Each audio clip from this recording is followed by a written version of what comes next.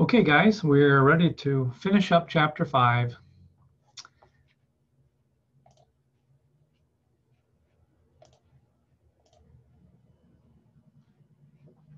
So we want to talk in this last module about the remaining two types of tissue, which of course you see here are muscle and nervous tissue. We have already discussed epithelial and connective tissues.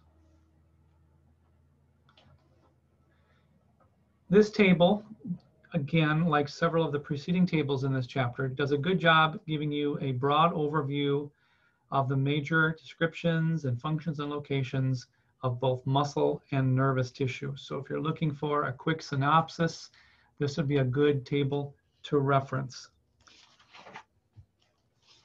Notice that there are three types of muscle tissue, and we will talk about nervous tissue in very broad terms. There are, there are a lot of different kinds that we will not differentiate um, the different uh, types of nerve cells, but you'll be hearing a lot about that in A&P2. In fact, um, your book devotes two full chapters to the nervous system, nervous one and nervous two, and then a third chapter to the special senses, which are uh, in some ways very much connected to the nervous system. So you're going to hear a lot more about nervous tissue next semester, but we'll talk a little bit about it today.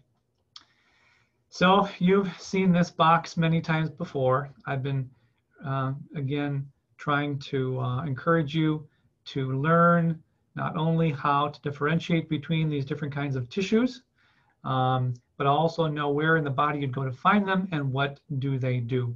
Same applies for muscle tissue. This first type is the most uh, abundant type of muscle tissue in your body called skeletal muscle. It gets the name skeletal because it's connected to your skeleton. So when we do the muscular system in lab in another few weeks, we'll be learning many of the major muscle groups. And so these are skeletal muscles. Maybe you've heard of names like uh, biceps brachii or rectus femoris or rectus abdominis or gastrocnemius. These are all names of different kinds of skeletal muscles in the body. And so much of what makes up your body weight, as it mentions here, about 40% or so is muscle. So it's a fairly significant type of tissue in your body, at least from a weight point of view. When we talk about muscle cells, specifically skeletal muscle cells, we also use the term fiber in place of cell. So you may hear me or you may read in the book where they talk about uh, a skeletal muscle cell. More times than not, you'll see skeletal muscle fiber. So don't let that throw you. A fiber, a muscle fiber is the same as a muscle cell. And unlike many cells that we've looked at in the past two sections here of chapter five, these particular muscle fibers, be it skeletal or smooth or cardiac, tend to be very elongated cells, as you can see from the artist's sketch here, where we have upwards of uh, what 15 or so skeletal muscle fibers. Notice how long they are. Now they have a cell membrane. Um, it's called a sarcolemma, and don't worry about learning that. We'll be getting into this in the muscular chapter uh, in a couple couple weeks from now. But like any cell, we have a cell membrane or plasma membrane. We have a nucleus, and you can see those, of course, shown here in blue on the artist sketch. And in this uh, stained section of about seven or eight muscle fibers, we can see these dark purple structures. These are the nuclei. And what's really cool and different about skeletal muscle fibers is the fact that they are multinucleated. Now, we've always said up to this point in time that a typical cell has a single nucleus, and most of your cells in your body do. But here's an exception to the rule where skeletal muscle fibers or cells are multinucleated. And they lie just underneath the cell membrane on the very surface here of the fiber. There are also other organelles here. There are mitochondria, lysosomes, smooth and rough endoplasmic reticula and so forth. Um, but what makes up the bulk of a skeletal muscle fiber are special types of contractile proteins called actin and myosin. And again, we'll talk more about those coming up in a later chapter. But if you look close again at the sketch or actually the histologic section, you see these little bitty lines, um, these striations. And that's where um, the term striated muscle that is sometimes used in some of the older textbooks comes from. So if you ever read about striated muscle, it's the same as skeletal muscle. And these dark and light and dark and light striations come from the, um, the arrangement and the overlap of these actin and myosin filaments. And that's all I'm going to say right now. We'll talk more about them in great detail coming up, I think, in chapter uh, nine is, this, is the muscular system. So very elongated, they have striations, they're multinucleated, they make up the majority of muscle in our body, contributing 40% of our body weight. And the other thing to keep in mind about skeletal muscle is that it is voluntary. You have conscious control over your skeletal muscle. You can write notes, you can look up, you can um, run, walk, swim, jog. This all involves nervous uh, interaction with this type of tissue causing contraction. So contraction cannot occur unless an impulse travels down a nerve that terminates in a muscle or muscle cells. And in response to that, muscle fibers can contract. And when you look at a muscle here, for example, of the sartorius, this kind of elongated muscle that I'm pointing to with the, uh, with the arrow, or, or any of these muscles of the upper thigh, you have literally tens of thousands, maybe hundreds of thousands of these individual fibers within a larger, broader muscle that we call the biceps brachii or uh, the sartorius or whatever it might be. So again, this is microscopic. You can see it's magnified 400 times. So we're at the limits of our dry objectives uh, in order to see these uh, skeletal muscle cells or fibers. Smooth muscle, how does it differ from skeletal? Well, there's a number of different attributes that this type of uh, tissue has, fibers.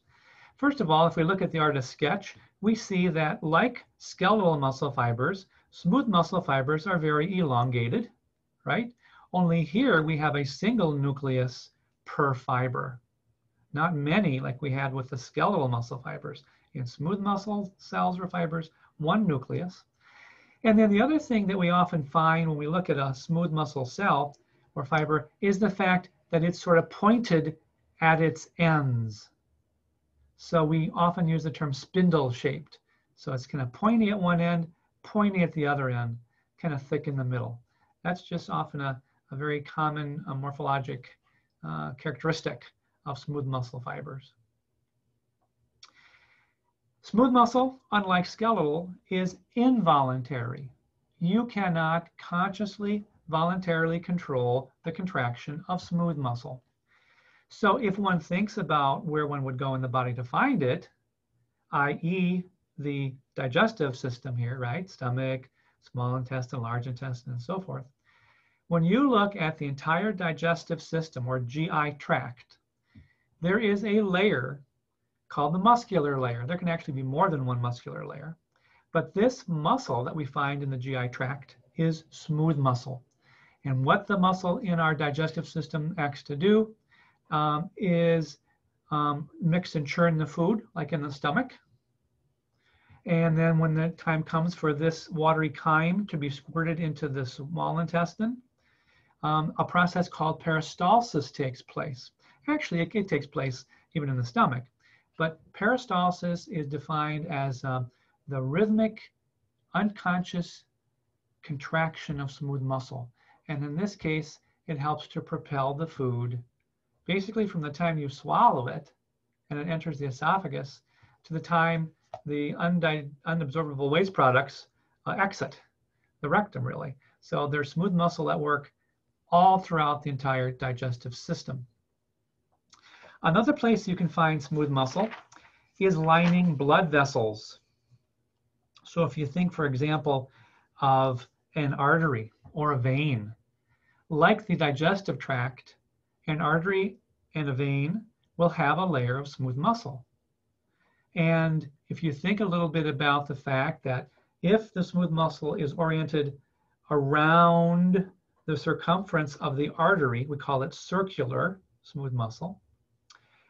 If this is the lumen of the artery, okay, the blood is passing through that space, what happens if my fingers represent circular smooth muscle and this smooth muscle contracts, the fibers contract? Look what happens to the lumen. It gets smaller, doesn't it? And what's that going to do to the blood pressure? Well, it's going to cause it to go up. Now, if I relax this smooth muscle in the wall of the vein or artery, the lumen gets larger. What would that do in terms of the blood pressure? Well, it would lower it. Yeah. So contraction and relaxation of smooth muscle lining major blood vessels like arteries and veins can have a big impact on increasing or decreasing blood pressure. And all of this is regulated by our autonomic nervous system, which again, you're going to hear more about next semester, but you have no conscious control over that. It's all on automatic. So you can kind of think of autonomic is automatic. And oftentimes, um, smooth muscle can, uh, can respond in a particular way to the nerves that are, are stimulated by this particular branch of the nervous system called the autonomic nervous system. Um, the uh, iris of your eye has circular smooth muscle in it. What happens when you go from a dark theater out the door into the parking lot and it's very bright middle of the day? Your pupils constrict, don't they, in response to the bright light? That's due to contraction of smooth muscle in your iris in the colored part of your eye. When you go into the movie theater and your eyes get accustomed to the darkness, they of course dilate. Now it's not dilate, it's dilate, dilate. They get larger and that's due to relaxation of smooth muscle in the iris of the eye. Again, you don't think about it. You just respond to it, don't you? When you walk into that bright parking lot or walk into the dark theater, your eyes automatically adjust. And our last type of muscle tissue, cardiac. Well, if you don't know where this is, you're in big trouble. Uh, obviously, it's the heart. It's the only place you find cardiac muscle fibers. Okay, how do they differ morphologically, shape-wise, to smooth and skeletal muscle fibers? Well, there's a, a commonality with smooth in that there is one nucleus per fiber, and this is also involuntary, like smooth muscle is. However, you might notice that there's branches here of these skeletal muscle fibers. So we sometimes refer to it as being uh, bifurcated or branching. So you don't have this, this bifurcation in smooth muscle or skeletal muscle. Um, another thing, if we look super close, is we can see that there are these lines, like striations, right? That's borne out also in the uh, uh, compound light microscope if you look really, really close. It's kind of hard to see here, uh, but there are little bitty light stain lines. These again are the actin and the myosin filaments that we'll talk a little bit more about. Um, but be careful, don't confuse cardiac with skeletal. Cardiac muscle is involuntary, skeletal muscle is voluntary. Cardiac muscle is found only in the heart, skeletal muscle found connected to the bones. Um, and cardiac, again, being bifurcated in their morphology, the fibers, while the skeletal muscle fibers tend to be kind of long, elongated rods. I do want to point out a structure right here, though, and there's one here, and there's one here, and there's one here. There's a whole bunch of them if you know where to look. These are called intercalated discs. On the stained histologic section of, of many cardiac muscle fibers, you can see these intercalated discs. They're darker striations, aren't they? Not to be confused with the very, very light uh, ones here that are tough to see on this particular photograph, but here's a dark one, here's one, you can, you can see them here. There's a lot of intercalated discs.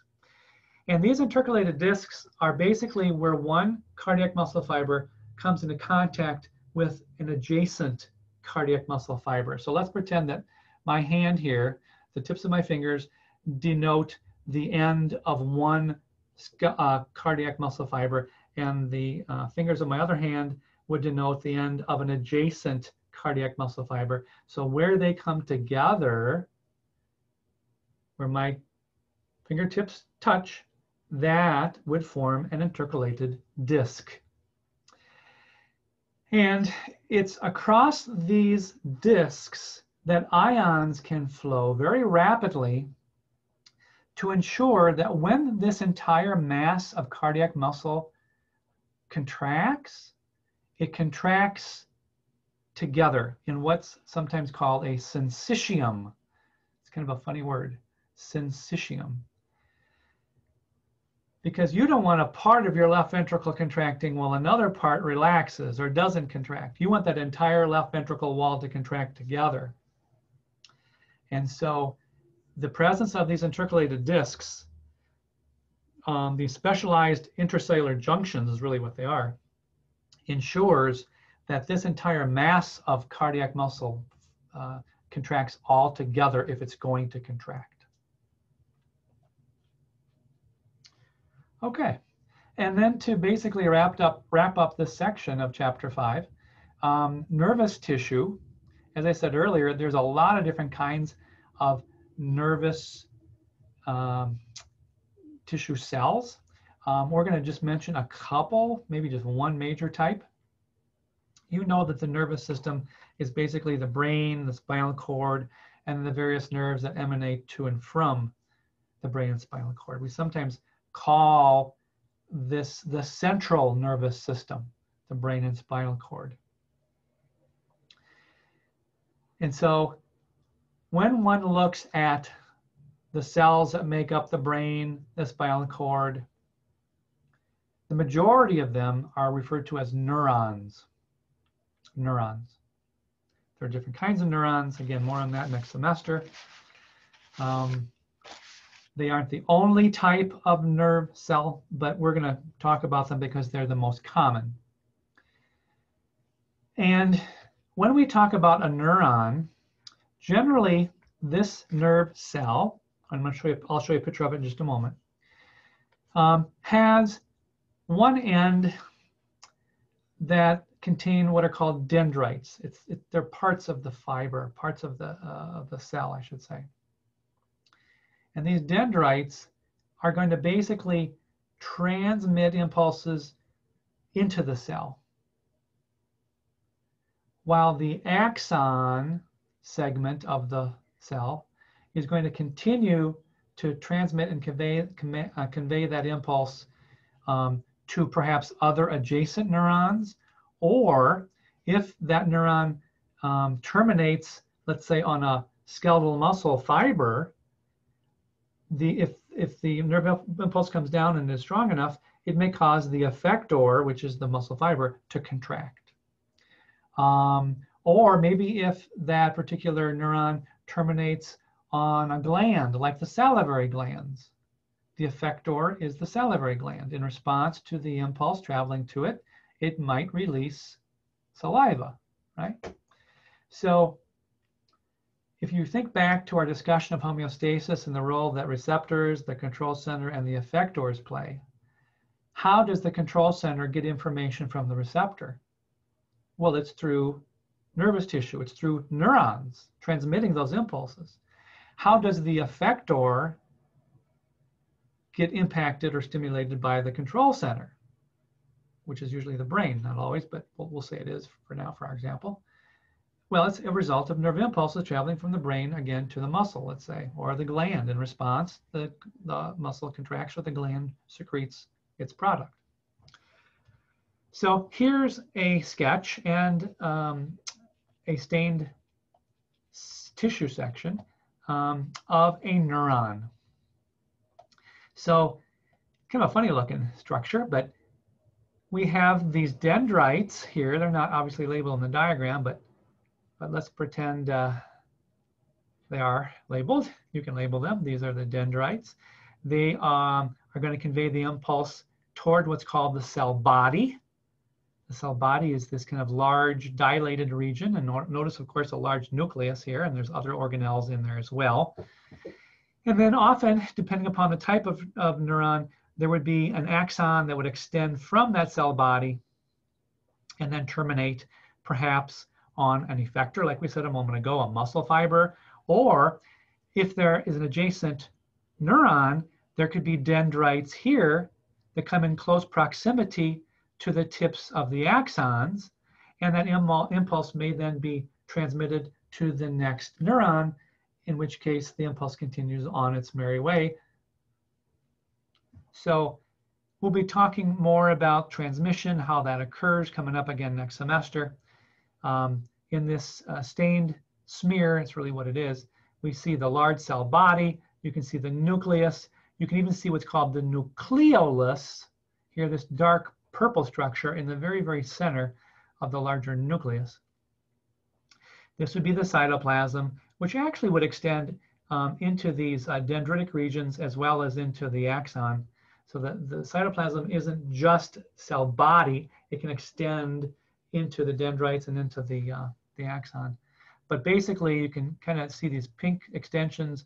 These are likely dendrites that are, again, bringing the impulse toward the cell body, and then it would be, it would be uh, transmitted along, uh, typically un, along neuron, or along uh, cell body, excuse me. Um, so this is sort of a generic neuron. They're, they come in all uh, different uh, sizes and, and there's different kinds. But just for now, know that these muscle cells called neurons are functioning in transmission of impulses. Okay, well that wraps up chapter five.